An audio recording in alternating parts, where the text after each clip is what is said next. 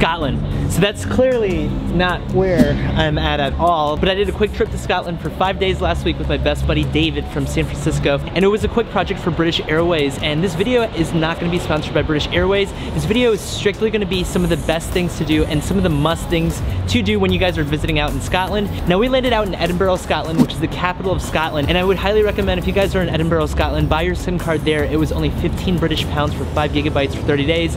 Absolutely perfect. I honestly did not expect the SIM card that cheap for my first time out in the UK, but it was, and it was awesome. When you guys are in Edinburgh, the first thing you're gonna wanna check out is find a viewpoint. So we ended up checking out Arthur's Castle at sunrise. Ugh, I know, I know, it's Arthur's seat. Alright guys, so we made it out of the hotel room. Once you step out of the hotel, it seems like a different world. I haven't been to the UK ever in my life again. I'm used to typically Southeast Asia. I was just in Israel. And you see like castles to the left, castles to the right. They're probably not castles, but just very unique shape that I haven't experienced ever in my life before. We ended up catching a taxi and it's either a 45 minute ride or, sorry, walk there or a 20 minute taxi ride. And the thing about that is the taxi driver saying that there's like no taxis near Arthur's seat like waiting for people. So we might have to actually walk 45 minutes all the way back and we have no data on our phones, nothing at all. So wish us luck, but we're about 10 minutes from there. It's supposed to be a beautiful viewpoint of the city and uh, we're gonna go check out Arthur's Castle to start this video. You ready for this, David? Let's do it. Another adventure with David Constantino. Thank you very much. So it is really cold and the guy did give us directions. It's about 10 minute walk when we leave later uh, to find a taxi, but we're at Arthur's Arthur's seat, at least part of Arthur's seat. He said it's a really good viewpoint, a really, really good vantage point, like right, right up there. And everything is kind of dark. He said use a torch. You can get sloppy. It is swampy. so we're gonna hike up this for a little. Um, and we're gonna hopefully catch a nice little sunrise over Edinburgh. The best part is we have no idea how to catch a taxi. We don't have any data on our phones, anything at all. We were, uh, we made it a little late yesterday and the cell phone shop next door was closed, but oh well. Woo! YOLO!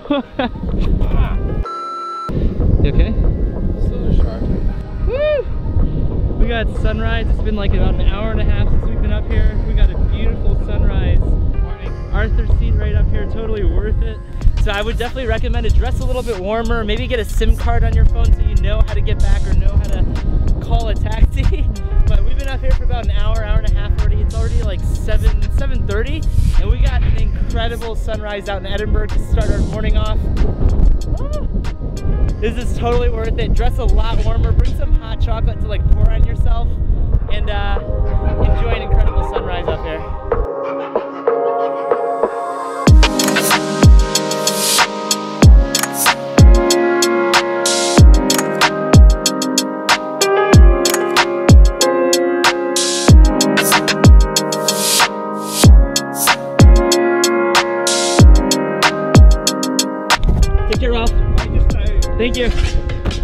sometimes you just meet nice people. So Ralph basically found us at top of the hill. I shot the drone up, got some awesome drone shots, even though it was super windy. So I shot it up mainly in sport mode.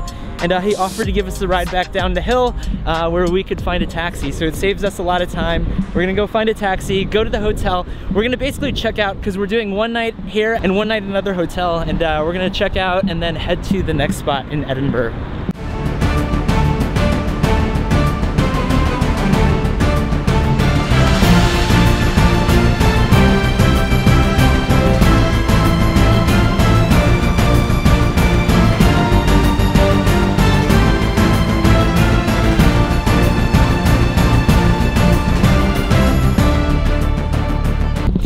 Right, so we went cross town. As you can tell, the trend in this video, you gotta bundled up and dress as warm as you can. And I'm in like a little corner where we're at right now, just so the wind hopefully isn't that bad with the microphone. And we're at Edinburgh Castle. So if you guys come out to Scotland or this area, let's say in general, you have to check out the castles, which pretty much is all we notice out here in regards to like the architecture from the buildings. And uh, Edinburgh Castle specifically is like the main, one of the main landmarks in Edinburgh. And Edinburgh Castle pretty much dominates the entire skyline in Edinburgh on Castle Rock. Now the first settlement is completely unclear at Edinburgh Castle. And they basically said that this has been a royal castle on the rock since at least the reign of David the First in the 12th century. And at times it's been a royal residence until 1633. So a long, long time ago in the mid 1700s, it was considered as like a military bunker, which they turned it into. And late 19th century, they turned it into, uh, I think it's considered as like a like a national historic site out here in Scotland. What do you think about this place? It's epic. Pretty epic. Yeah. And as you might notice, there's tons of cannons like surrounding the castle. David actually just pointed it out that who would want to attack this? This has basically been besieged. They counted in 2014 at least 21 times in the history of 1,100 years, which basically is considered as the castle that's been the most attacked, arguably in the world. So there's a ton of uh, battle cannons all around us, like all around the edges of the castle. We pretty much explored all over the castle and it's a very historic site. At least check out a castle if you guys come out to Scotland. So it's pretty cold right now. We're basically gonna run around for a few more minutes and then we're gonna head to the next spot out here in Scotland. Now the Edinburgh Castle is definitely worth the experience if you guys are coming out to Scotland and definitely should check out castles after a cold, cold viewpoint in the morning. Now shortly after that, we ended up having a delicious lunch. I paid around 1750 British pounds, which is equivalent to around 22 American dollars for a salmon lunch. It was really, really good. And just next door, we went to the Scotch Whiskey Experience, which is whiskey tasting, something that they definitely recommend you guys experience.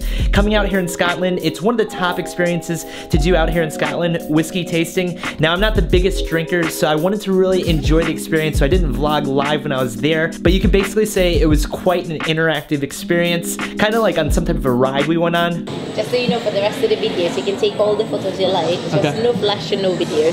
Sounds good. So try to survive. for Okay, the thank next you. eight Promises. minutes. That sounds really nice. Whiskey distillery. Look at the state of me.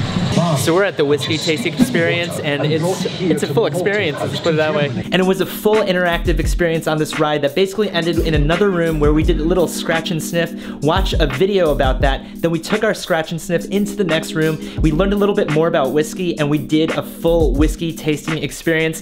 Definitely would recommend it. It was a lot of fun. It lasted around 50 minutes to about an hour, hour and a half, depending if you guys want to get more whiskey after the experience. And definitely highly would recommend a whiskey tasting experience if you guys are coming out to Scotland. Now we walked 10 minutes back to our hotel in the main area, I think in the newer part of Scotland and downtown, and we paid around 151 British pounds for each of our rooms. Now David's on a different floor, he's in a different room, so that's equivalent to around 185 American dollars for the night. So it's kind of pricey, kind of expensive compared to rooms and hotels out in Southeast Asia.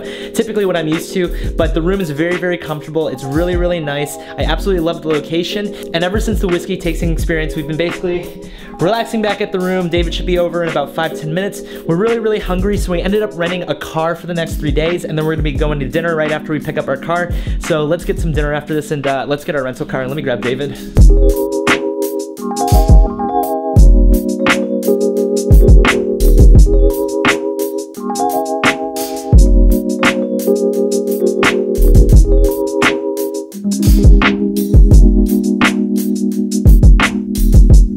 Oh my god, this is so much food. How's the steak? So much. So much, so good. So we ended up leaving the hotel. We ended up booking an Audi A4, which I'm super stoked about for the next few days. And we ended up making to McKirdy's Steakhouse. I think that's what it's called. And it's the oldest owned steakhouse out here in Edinburgh. And the food is absolutely delicious. And it's award-winning butchers here at the steakhouse. And we basically got a couple T-bone steaks. We got some prawns on top of it. The food, the food is so good. I absolutely love the potato. The steak is good. The prawns are good. Definitely recommend McKirdy's Steakhouse right here. I'm actually gonna put a link below to the steakhouse if you guys are curious about the food because I'm a big foodie whenever I travel. Absolutely love the steak out here. We're basically gonna finish the steak and we're gonna call it a night, get back to the hotel because we have an exciting couple days ahead of us. So we'll catch you guys tomorrow morning. Now you saw a beautiful viewpoint, you saw a castle in the UK, you went whiskey tasting out in Scotland, you had a big steak. That was an incredible first day. Time to hit the hay and start off your next day. That rhymes. Wow, didn't plan for that.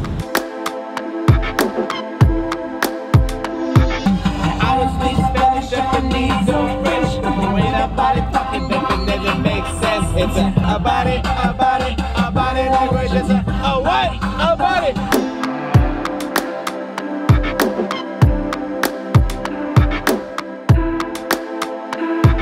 guys, we left Edinburgh this morning around 6 a.m. We've been driving for the last, well, David's been driving for the last like three, four hours. It's almost uh, 10 a.m. roughly. Yeah, it's 9.51 a.m. right now. We should be making it to our first spot on the next two-day stop, two-day adventure, which I was really excited about. Unfortunately, the weather has really slowed us down to getting footage. We couldn't shoot the drone up as many times as we wanted to. And uh, the drive is still absolutely beautiful, but the rain is just kind of dampening what we plan on doing because everything is outdoors that we plan on doing over the next two days. So we're still stoked for the Isle of Skye drive. However, it is raining. We should be at our very first stop in about an hour and 20 minutes, just over an hour.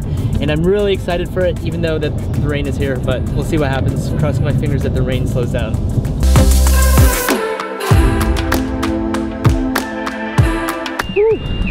Rain is coming. All right, so David's already exploring the castle. This is our first stop, the Eilean Donan Donan Castle. I think that's how you pronounce it. I might be slaughtering it. And this castle is one of the most, if not the most picturesque castles in all of Scotland. It's a very famous castle. It's in a lot of different movies, specifically James Bond, and also Harry Potter, if you guys are familiar with Harry Potter. Unfortunately, I'm not, but this castle is pretty epic. And unfortunately, it's been raining the entire drive all the way to this castle all day. Uh, I did get the drone up for a quick, a solid drone flight for about five to 10 minutes before it started pouring, pretty much downpouring here. This castle is actually involved in many, many different raids. And unfortunately, uh, because of all the raids, it was demolished at one point, but then they rebuilt it in the 1900s. Now you could basically visit it because it's in a lot of iconic type movies and yeah, check it out. So I was hoping that the heat would clear everything up, but you could see the castle right out there. And it's a pretty incredible castle. But again, unfortunately, it's been raining the entire drive, the entire day. Tomorrow, we're actually driving six hours back to Edinburgh. So we're hoping that the weather can clear up for today uh, once we get to Skye. And we have about two or three spots that we want to check out in Skye. But unfortunately, this weather, it's a mess. So hopefully we're gonna get out of here. David should be back shortly and uh, hopefully the rain stops and uh, we should be at Skye. Cross your fingers, guy, that the weather holds up for us at least today, if not tomorrow.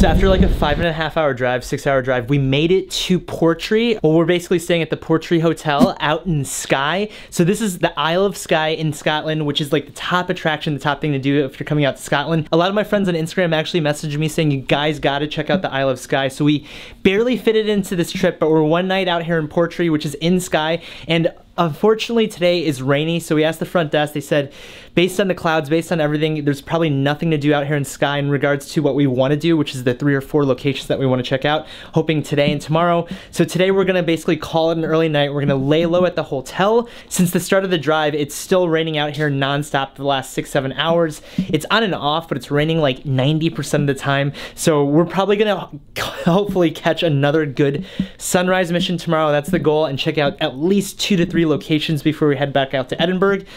And uh, yeah, if you guys are coming out to Scotland, stay in Portree, maybe for more than one night, and uh, check out the Isle of Skye. Catch you guys tomorrow. Cross your fingers, guys.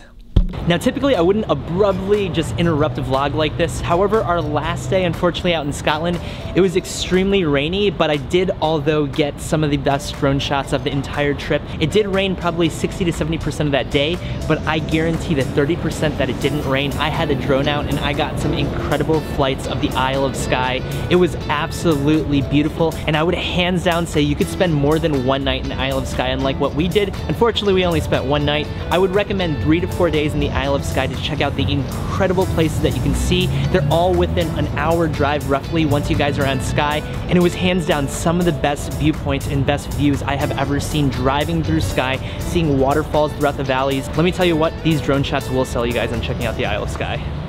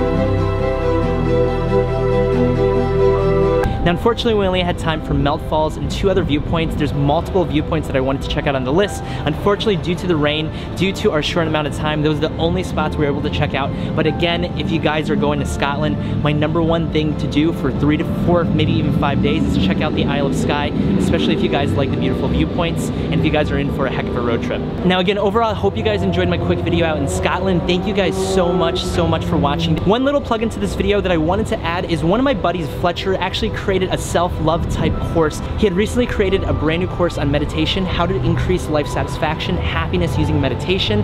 I'm actually gonna put a link in the description if you guys are interested in checking it out, and it's pay as you go. So if you guys are interested in something like that, I know there's a 30 day meditation challenge. It's pretty interesting, pretty neat what he does. So definitely check it out in the description. But again, I hope you guys enjoyed this video out in Scotland. Thank you guys so much for watching. Thank you guys so much for being a part of this community and welcome to my channel if you guys are brand new. If you guys enjoyed this Scotland video, which I hope to help you guys travel out to Scotland one day, make sure you guys smash the like button, comment down below if you guys have any questions or anything else to add to this video, and make sure you guys hit the notification bell so you guys are notified for the next videos. Thank you guys so much for watching. I'm gonna enjoy California for the four or five days that I'm here to catch up with work, and I'll catch you guys in the next one. Cheers.